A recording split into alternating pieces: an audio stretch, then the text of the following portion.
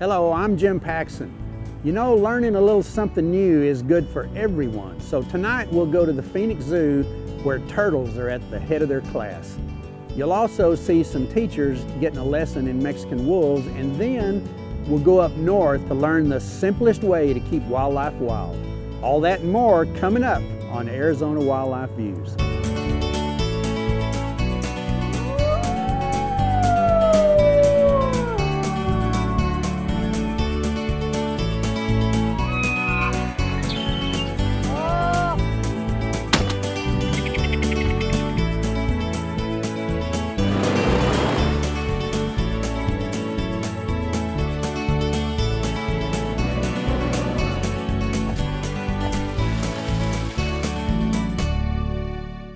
Arizona Wildlife Views is brought to you by the sale of hunting and fishing licenses and the Heritage Fund, lottery dollars working for wildlife.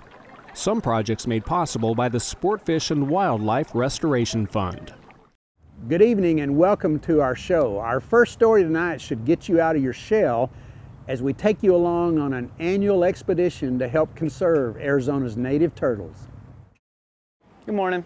I'm with Game and Fish. We're out trapping turtles this weekend. We've got a turtle in a trap over here, folks, if you want to take a look. How come, yeah. you said? Oh, these are invasive species. So these actually started out as people's pets. At pet stores, they were tiny. Uh -huh. People can't take care of them after a couple years, and unfortunately, they get dumped here. I think that's a cooter, yellow belly cooter. Most of them are red-eared sliders, yeah, or pond sliders. We're catching any and all we can this weekend. They're all non-native. Yeah. So um, the concern is that if we leave breeding females in here, the numbers, they keep growing, and then they could get into um, other waterways, Tempe Town Lake, Salt River, and then they could outcompete the uh, native species. Yeah. So last year we took out 200 in three days, just out of this little tiny pond, yeah. We are in officially Papago Park Pond number four. It's owned by the city of Phoenix, but it is a what we con we conveniently call the moat, and it separates the Phoenix Zoo parking lot from the Phoenix Zoo. Uh, today we're conducting our ninth turtle trapping at the Phoenix Zoo in an effort to uh, remove non-native turtles from these waterways, to keep them from breeding and then moving out to other waterways. Oh, I think we have a turtle, at least one in here.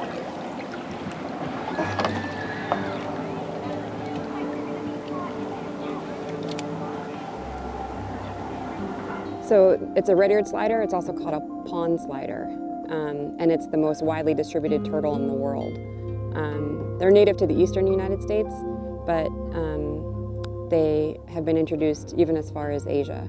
And they're the what was commonly called the dime store turtle back in the 50s. Um, people would buy them with a little aquarium and a little plastic palm tree. Um, and they're still quite popular in the pet trade today. Um, you know, people buy them when they're cute and they're little, and then they start outgrowing their tank, and people don't realize how much maintenance um, it actually is to take care of them. So um, what's been happening is people have been dumping them in the pond. And this turtle probably was in captivity pretty recently. You've got a little bit of pyramiding, which is something we see in captive turtles, and also some peeling of the scutes.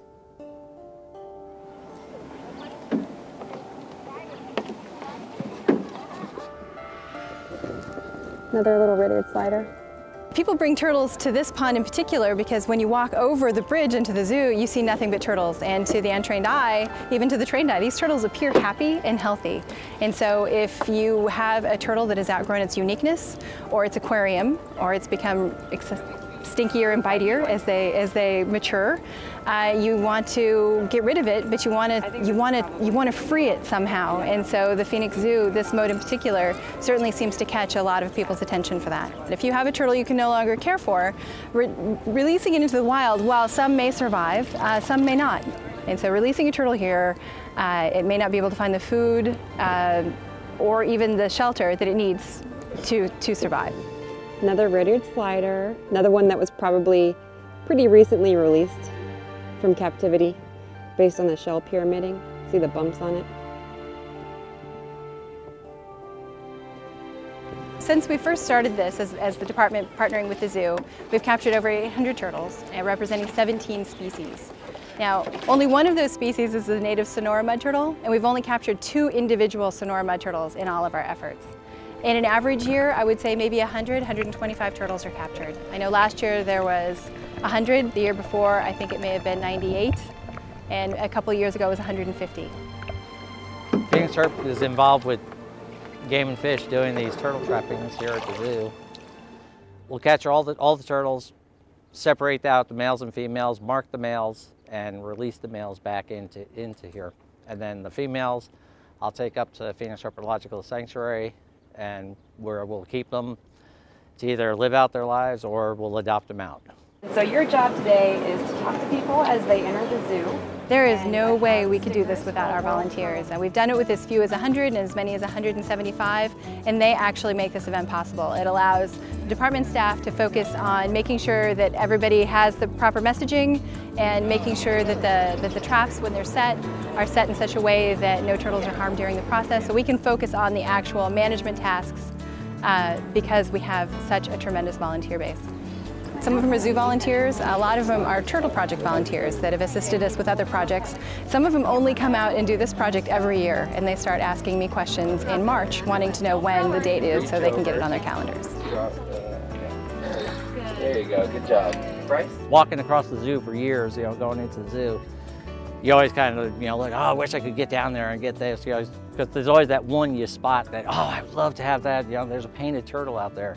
I would love to get that guy. You know, now I have the opportunity to go out there and you know capture them. And like I said, a couple of years ago, we pulled a 62-pound alligator snapper out of here.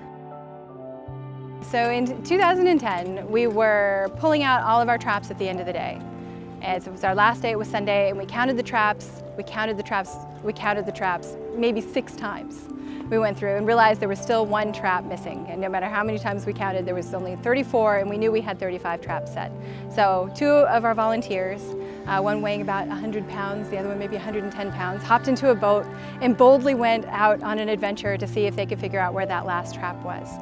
And uh, it was an incredibly windy day. So they were, they were going in with a tailwind to, to the far western edge of the pond where they saw a rope, just a rope, a taut rope stretched out from a palm tree that went straight underwater.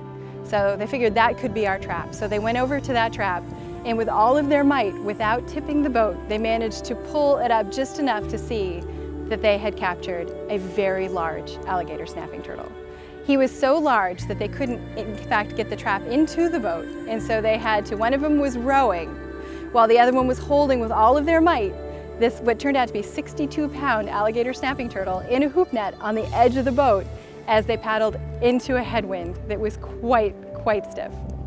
And so they, were, they, they brought it in, I heard, I heard a ruckus, I came running back to the boat launch area to find them lifting this 62 pound alligator snapping turtle onto the flatbed of one of the zoo's carts. My son actually got to do that, you know, type thing, which was kind of really annoying that he got to pull it out and not me, and he hasn't let me live it down for years because I was supposed to go out on the boat, but I said, nah, Caleb, you go. So he went, so he got that, and we still have that up at the sanctuary too. Oh, I think we got a turtle.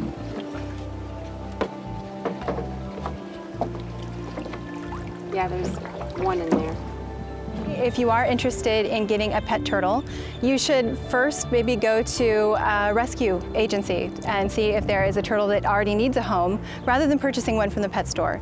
Because purchasing them from the pet store can lead to uh, more depletion of turtles from the wild and also more that get released unnecessarily into ponds like the one here. If you go to the turtle pages, which is the azgfd.gov slash turtle, we have a link to the Phoenix Herpetological Society on our pages. So on those pages you can learn how to care for captive native desert tortoises and you can also learn what to do with turtles that you are no longer interested in.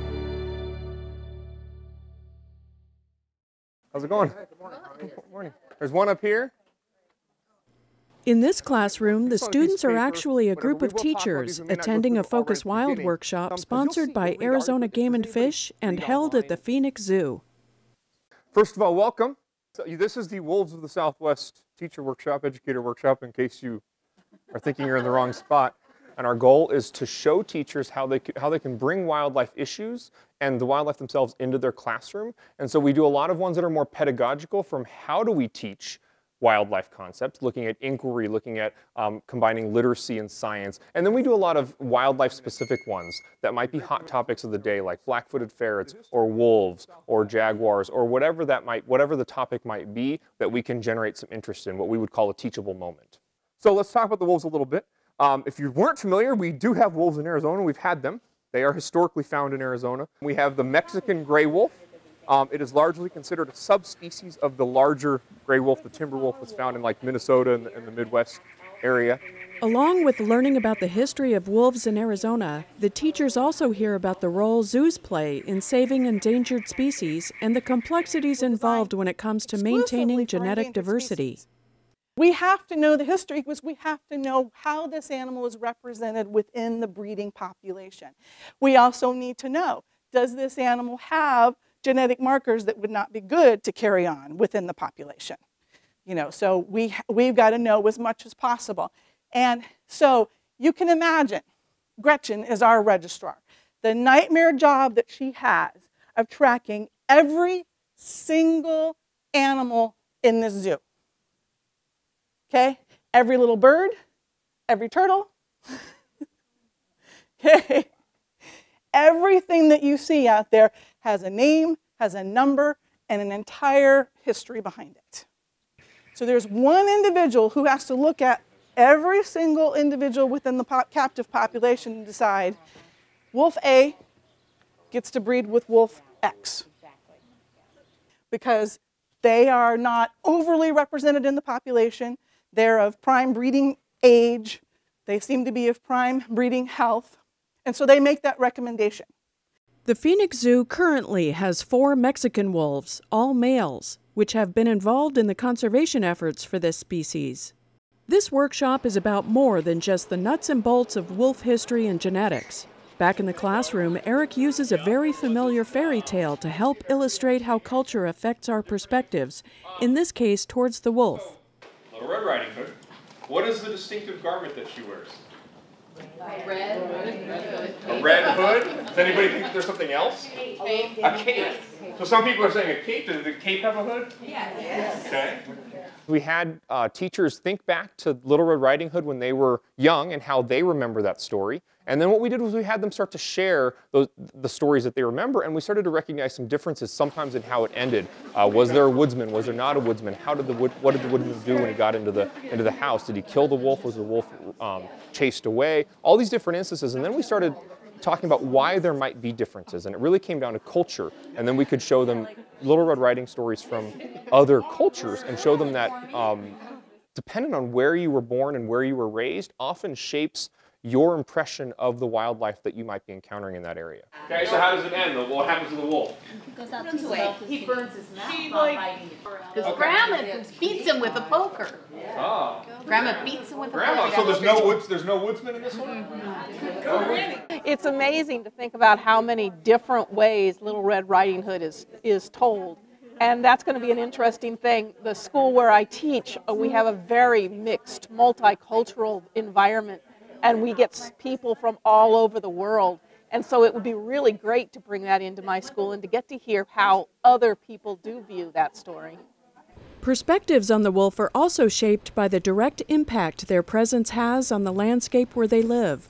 To give the teachers a clearer understanding of the complexities of the issue, they heard from both a biologist who works with the wolves every day and a rancher who deals with the consequences of the wolf reintroduction.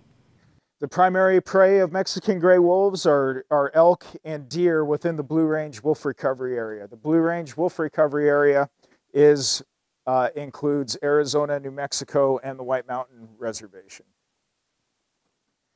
The historical distribution, as you can see from the map here, was from central New Mexico and Arizona, western Texas, all the way down to the state, Mexico City, and, uh, and the mountainous region of Mexico.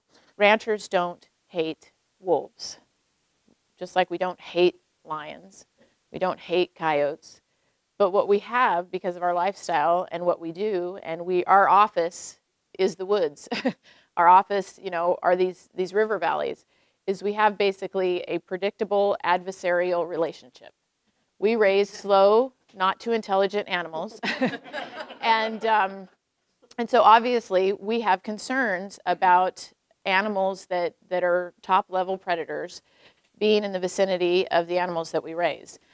On January 25th, 1998, they released the first wolves. I believe it was seven wolves in Arizona.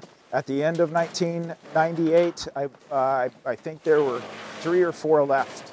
Um, they were captive wolves. They'd been hand fed, you know, for so many years. They didn't have a lot of wild skills. They had a lot of nuisance behavior and they were pretty easy to shoot at that point. Not a lot of people were in favor of wolves in the area that they were released, so there was a, it was a, a long fight to get a population established just from the captive animals. If you asked a rancher anywhere in Arizona and said, do you think wolves should be reintroduced? They're going to say no, you know. Um, so, I mean, I'm just going to be straightforward about that. However, with what's happening today, you know, you can't put the genie back in the bottle. Whether this population of wolves expands or it stays where it is, it's staying. Um, so, so it, now it's a matter of, okay, well, how do we live with it? How do we manage for this situation? It's clear that the reintroduction of wolves is not a simple issue. So, to create another teachable moment, Eric divides the class into groups, with each person taking on a role of a different stakeholder to see how they would tackle a similar situation. You're going to meet for about five minutes briefly in that group of about three or four people and just sort of outline what's important to you in this proposal. They had to, to, to, meet together and sort of compromise and come up with a potential solution and give recommendations to the Game and Fish Department on what, whether we should pursue this reintroduction, and if we do, should there be stipulations that we should put in, regulations that we should put in, and really got them to see that, again, it's not a black and white issue. It's not as simple as just saying Game and Fish should do this. We know that there's a good prey population. We know that there's good road density. Everything fits into that thing to follow along the lines to make sure that we can take this animal from the endangered list and take them off of that list without affecting too much. And do they know this? I mean, it's again, you know, breaking. The, they don't. They don't follow the rules. They kill. They'll kill my livestock. This is beef on a ranch that I guarantee that no predator has ever been killed because he's preying on my livestock. After a lot of lively discussion, each group presented their concern and recommendations for the proposed wolf reintroduction. The one who had the most trouble was a private landowner, not a rancher, just a private landowner, and her opinion was it's my land, I should be able to do whatever I want on it if a wolf comes onto my land, I should be able to do whatever I need to to either get rid of them or you know whatever you know. Our um, ranchers, they were very vocal, very vocal on the fact that they needed to have their livelihood protected. As a hunting community, we were first kind of no. So after that, we come up with a compromise. We were big on compromises over here. We would like to compromise that we proceed with the project as planned. However, you at the Arizona Game and Fish Department keep a sustainable level of deer and elk, which drives our economy as a hunting community. When and you also give an exact number of population of wolves. Once that population exceeds that number, we institute a hunting season, which then will boost our economy with hunting licenses on wolves everybody wins, we're all happy. We saw where those stakeholder groups coming together, we saw separate plans from separate groups coming out. So basically the same idea. We had the financial, it's been interesting how different groups have picked up on different things so far. Um, you know, we had some of the private property stuff, we've had some of the financial incentives, and now we've actually had some of the some of the recreational pieces represented as well. I've always had an interest in wolves, and um, recently moving out here in the last six months, um, I noticed this wolf introduction reintroduction program and it kind of caught my attention. On top of that, I was looking for some other ways to um, some other ways to teach science and to, and to introduce this and work this into a curriculum. I really enjoyed the class. I thought it was great that we got to hear from speakers who have actually been out there with the wolves and the pros and the cons of trying to save them and looking at it from different points of view which is so important. It's what we have to be able to present to our kids because they they need to know both points of view. Really what we wanted to show today is the different perspectives that come to the table when we're talking about any particular type of wildlife issue. In this case, it was wolves, and showing that it's not just cut and dry. I like to use the statement that wildlife biology is not the same as wildlife management, and when we manage wildlife, oftentimes we're managing the people as well. And so we need to acknowledge the perspectives. As a government agency, we're responsible for all the people and serving all of the people, and all those people come with different perspectives.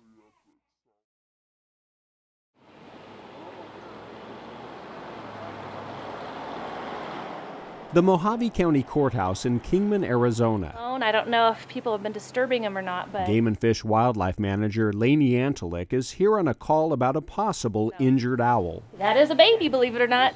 As it turns out, the bird is not injured. It's a young great horned owl that left its nest before completely mastering the art of flight. what happens is they fall from their nest when they're learning to fly, and the mom will still continue to feed them until they can fly and kind of be on their own. So It probably would prefer to be back in the safety of its courthouse nest.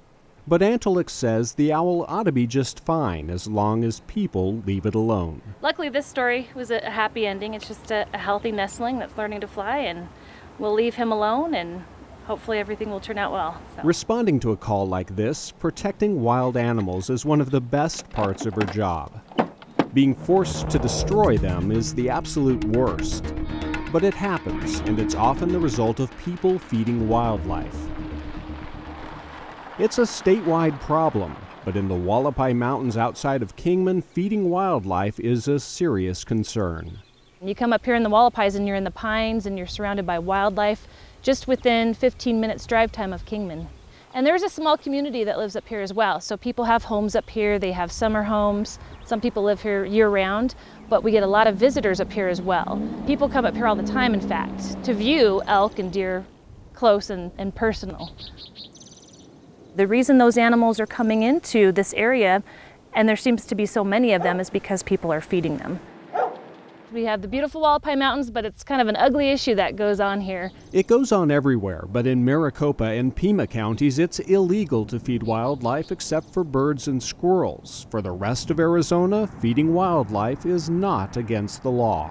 Granted, it's not illegal in Mohave County, but it's not good for the animal in the long run. Again, it's not part of their natural diet. There are actually quite a few people in this community that uh, put out hay bales and they put out big troughs of water to bring the elk into their yard. And you'll see there'll be 20 elk bedded down in their yard. They just kind of hang out with little motivation to roam and forage like wild animals normally do. And when wildlife get used to people, they're more likely to get into trouble. Twice in two weeks, Game and Fish had to tranquilize elk to remove trash can lids stuck around their necks. You know, they're going in there now for people food. Zen Mocarski says a wildlife manager who used to work in this area once showed him proof that elk were developing a taste for junk food. So she rolls down her window, and there's 12. In my, in my recollection, 10 to 12 elk bedded down. I mean, completely lying on the ground. And she pulls out a bag of chips, shakes them up and down, and every single elk there stood up and walked towards us. Animals can figure things out. They don't need us to put hay and, and things like that, pellets in their yard for them. You know, that's what I hear a lot. You know, I have to feed them, they need my help, they need this. You know, and I, I just like to say, stop it. You know, this is not an act of selflessness, it's an act of selfishness. This is not about helping wildlife, this is about wanting to see wildlife. And we've had many, many cases where that act of wanting to see wildlife has led in horrible, just horrible, disastrous results for the animals. Mocarski is the public information officer for the Game and Fish Regional Office in Kingman. He's constantly spreading the word that feeding wildlife is bad news for both animals and people. Well, the bottom line for me is that humans and wildlife just don't interact real well together. You bring them in and they're facing all kinds of dangers when we draw them into the community. People are not doing them a favor.